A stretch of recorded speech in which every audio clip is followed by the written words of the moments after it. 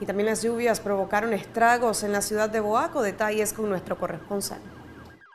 Cada que llueve es una pesadilla en varios hogares de Boaco.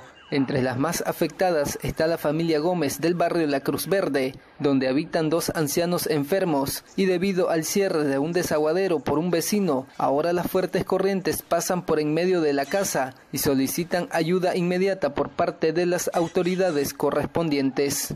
Estoy grave, estoy con una gran calentura y con esta lluvia no, aguantamos. ¿El agua pasa aquí por dentro de la casa? Sí, todo, por dentro nada, nada. Y ahora otra cosa, que es venida de agua, que todo el mundo sabe bien, perfecta bien, perfectamente bien, donde él compró, ahí era salida de agua. Porque todo el tiempo haya sido una salida de agua y él la cerró y ahora me hundo de agua, todo, cada vez que llueve yo estoy hundida aquí.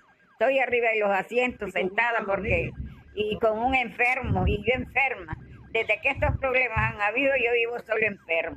Las últimas lluvias además provocaron el desborde del río Tecolostote, dejando afectaciones a varias familias. También algunos cauces se desbordaron, en su mayoría debido a la acumulación de basura que la misma población deposita. Durante esta época la población debe cuidar más su salud por enfermedades como el dengue, chikungunya, neumonía. A esta se suma el coronavirus.